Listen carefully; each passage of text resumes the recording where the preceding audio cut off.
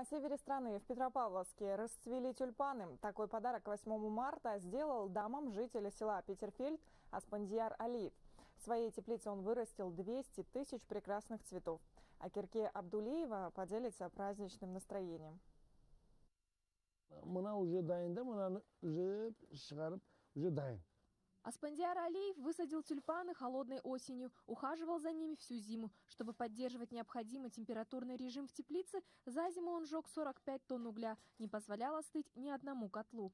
Но труд крестьянина оправдался сполна. Накануне 8 марта с его легкой руки в Северном Казахстане расцвели тысячи прекрасных тюльпанов.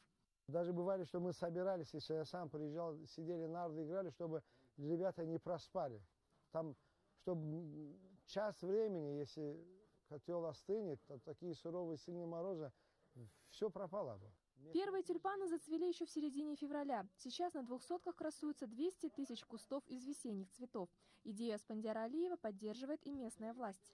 В дальнейшем планируется поддержка по государственным программам для э, расширения бизнеса по выращиванию огурцов, помидоров, чтобы данной продукции пользовался весь Казахстан. Особенно местным тюльпанам рады представительницы прекрасной половины человечества.